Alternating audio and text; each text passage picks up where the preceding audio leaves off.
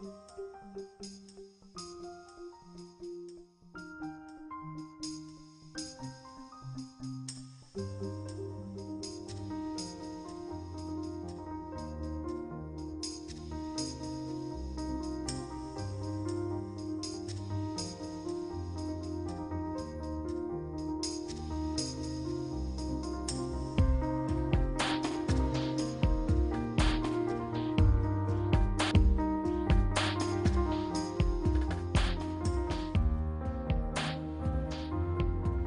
At Vertigrow, we aim to cultivate healthy and pesticide-free produce whilst helping to conserve water and energy. By designing a self-sustainable farm, we are offering a long-term solution to food security in Qatar, utilising non-arable land, increasing productivity, and overcoming food shortages worldwide. The Vertigrow organisation was founded in September 2013. Vertigrow consists of a young and dynamic team bringing forward the most innovative ideas to overcome any problem at hand. The team consists of the following personnel. Howard Cox, who is the organisation's project manager and mechanical engineer. Greg Finlay, who is the team secretary and business and marketing manager. Russell Jackman, who is the structural and environmental engineer, with further responsibilities for the design of the CAD models. Matthew Ellinger, who is the lead structural engineer and the organisation's process manager.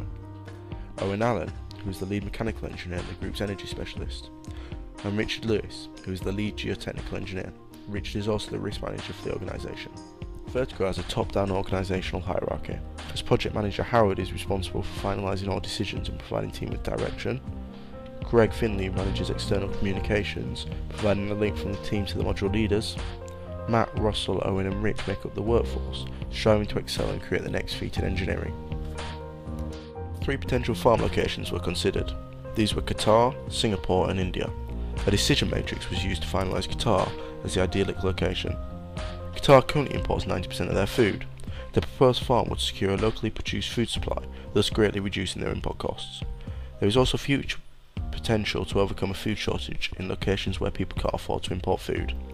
This is done by utilising knowledge gained from this project to enable vertical farms to be built in areas where traditional agriculture is impossible.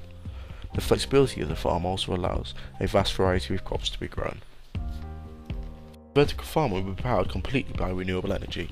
The biogas facility utilises recycled waste to generate electricity, as well as providing heat energy and carbon-rich fumes which enrich the growing environment. The structure will be a 1000 kilowatt facility. When running at 90% efficiency, it can provide 8 million kilowatt hours annually.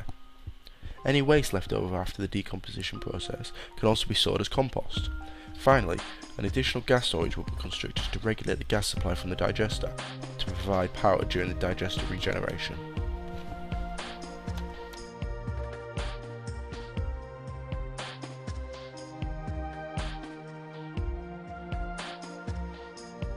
There will be a small-scale solar tower working in tandem with an array of solar panels. The solar tower utilises the heat of the sun to boil steam and power turbines.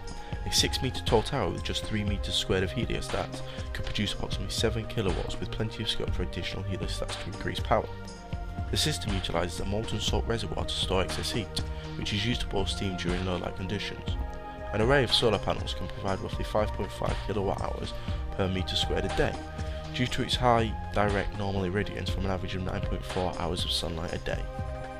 The vertical farm will provide 8,750 tonnes of produce annually, from 15,600 metres squared of growing area and 2.5 million litres of aquaculture. This will be housed in a 7-storey building with a plan area of 60 by 70 metres, to give a total area of 29,400 metres squared. The proposed structural layout consists of the ground floor being designed from reinforced concrete and contains agricultural setup, water filtration system, transport hub and cold storage. The six floors above have been designed as a steel skeleton with an electrochromatic glass shell. This glass is designed to allow light through while reducing the internal temperature. The hydroponic growing area has been designed for 12 separate growth cycles to provide weekly harvests. Hydroponic methods include rotary hydroponics. Rotary hydroponics uses natural light augmented with artificial lighting for optimum growing conditions. This technique is best suited to leafy greens and is optimized for a very short growing period. The artificial LED lighting is specifically designed to only utilize the red and blue light spectrums. This design results in a pink light being produced which is optimum for the plants and reduces energy consumption. The secondary hydroponic growing method is direct water culture. This method relies almost entirely on artificial lighting and is best suited to long-term growing plants that need to be picked, such as fruiting plants.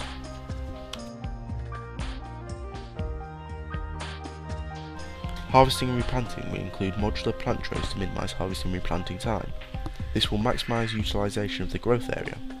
The design also employs a separate manually harvesting and replanting area for the modular trays, as well as cold storage area to prevent degradation. There will be an internal automated handling system to rapidly transfer produce between hydroponics, harvesting and replanting, agriculture and packaging and distribution. A multi-zone climate control system will be installed to maintain temperature and humidity at optimum growing conditions for the plants and at a comfortable condition for workers. One of the main features of the project is the addition of the aquaculture system. This supports a stable stock level of roughly 250 tonnes of fish maintained by integrated fish breeding. The aquaculture and hydroponic systems work in partnership with each other, each providing the other with required nutrients through the aquaponic system. The design system harbours multiple fish breeding and harvesting cycles to keep stable stock levels and nutrient supply to the plants.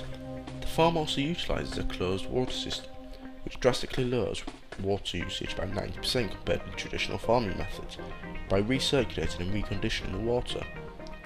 The closed nature of the system also removes the need for herbicides and pesticides, which can cause significant damage to local ecosystems due to water runoff from fields. As such, the farm has a minimal impact on the local environment. Key project milestones for Term 2 are design of the closed loop water system, design of the structure, project report, marketing video, end of project presentation.